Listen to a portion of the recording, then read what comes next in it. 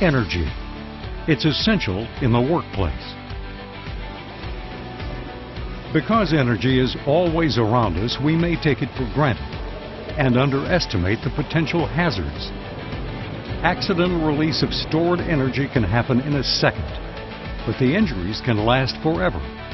The good news is, when proper safety procedures are followed, these accidents are preventable. That's the purpose of a safety lockout tagout program.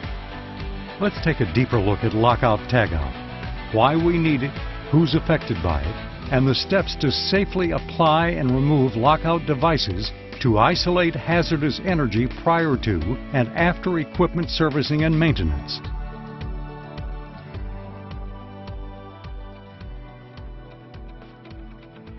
A wide variety of machines and equipment is used daily in industrial environments, but never forget the potential danger. Machines require energy to operate. Energy that's potentially hazardous to workers if not properly controlled during maintenance procedures. The consequences can last a lifetime. Hazardous energy comes in many different forms, such as electrical, mechanical, hydraulic, pneumatic, chemical, thermal, or other energy. All these energy types can unexpectedly start up equipment if not controlled.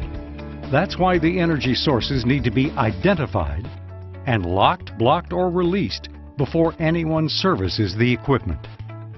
Each year, nearly 10% of all serious workplace accidents result from the failure to properly control hazardous energy. In fact, failure to correctly perform lockout tagout ranks in the top 10 citations every year. To help keep employees safe, lockout procedures are a combination of processes and products to isolate energy sources to machinery.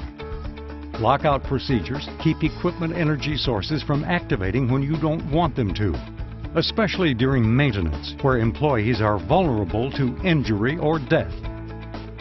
In addition, effective lockout tagout procedures minimize downtime and protect expensive equipment.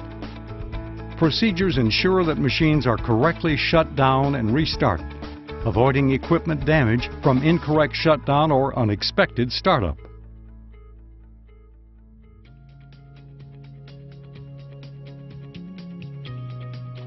The federal law that governs lockout tagout is an OSHA standard for the control of hazardous energy.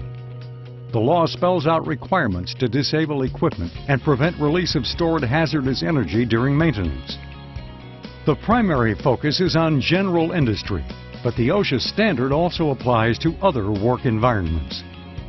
OSHA has specific standards for marine terminals, longshoring, and the construction industry.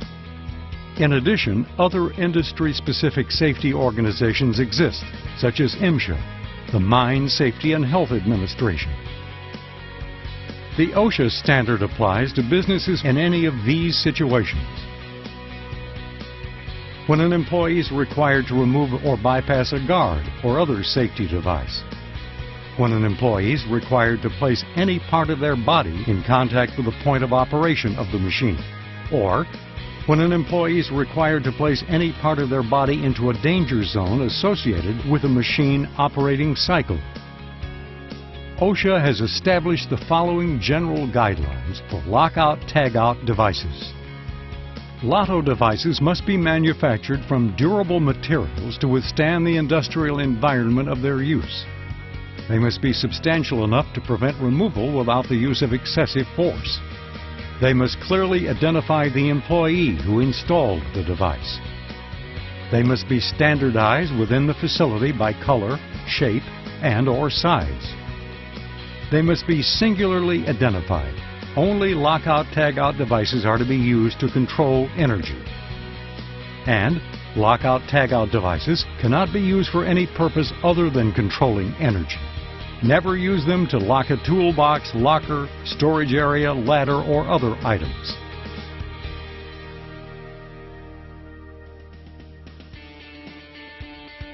Lockout impacts a variety of workers at a facility. The three categories are authorized employees, These are the workers specifically trained to lock out or tag out equipment in order to service or maintain the unit. Affected employees are the ones who work with or near the equipment being serviced.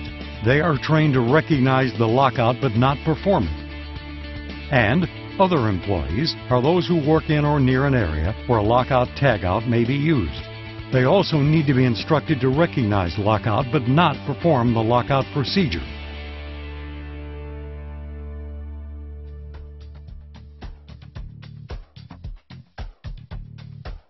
There are four key components to an effective energy control program.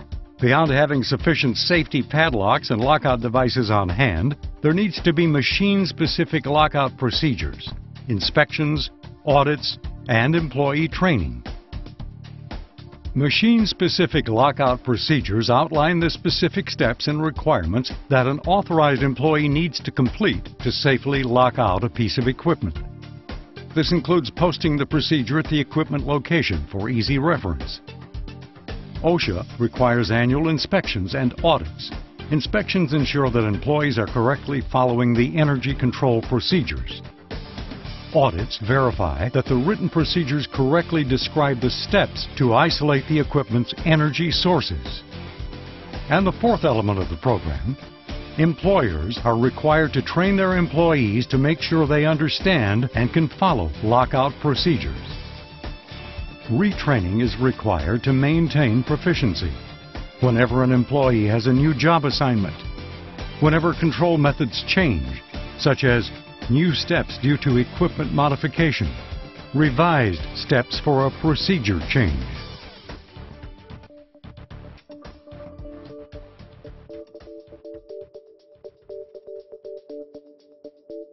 Every piece of equipment must have its own particular procedure for lockout.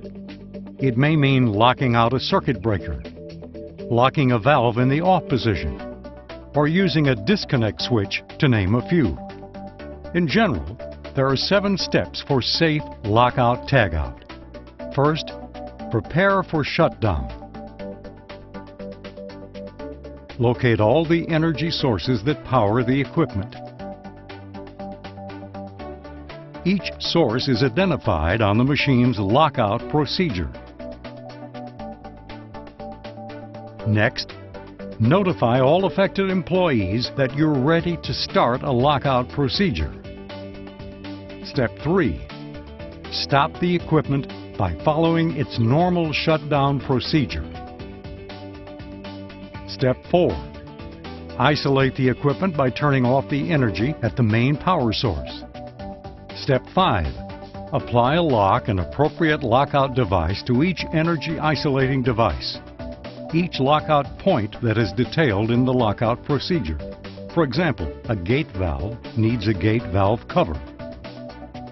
The lock or tag that goes with it must clearly indicate who applied the lockout device. If several people are going to work on a piece of equipment, each one must apply his or her own lock to the isolation device. This ensures that the energy source will remain off until each employee removes his or her lock. Step 6. Release or secure any stored energy. This may involve draining valves, releasing hydraulic pressure, blocking moving parts, or however it's detailed in your company's procedures. Step 7. Verify the power is shut off by trying to restart the machine. Once verified, return the machine switch to the off position.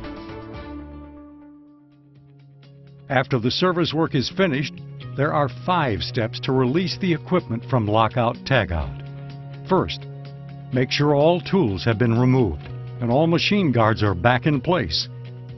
Check that all employees are clear of the machine. If you can't see inside a piece of equipment, take a head count. Remove the lockout tagout devices each person must remove his or her own lock and tag. Before you restart the equipment, notify all affected employees that the lockout tagout devices have been removed. And finally, restore energy to the equipment in the order indicated by the lockout procedure. A high percentage of accidents happen just after shift changes. It's often due to a lack of communication. That's why you should meet at the lockout tagout device with the person you're relieving. And then, before you leave, meet with the person who's relieving you. In general, if a piece of equipment is locked out at a shift change, the person on the next shift has to apply his lock before you can remove yours. If for some reason the person who applied the lock is not available, the supervisor may remove the lock and tag by following the company's pre-established written procedure. The supervisor must verify that the employee who applied the lock is not at the job site and make reasonable efforts to reach the employee. Before that employee returns to work, the employer must let him know the lock or tag has been removed and the equipment is no longer de-energized. Working around hazardous energy can be safe, but only when everyone takes responsibility for their part in the safety lockout tagout program. It starts with the employer who establishes the safety lockout procedures and conducts training, audits, and inspections. And safety also depends on employees to learn and follow the procedures for lockout tagout each and every time.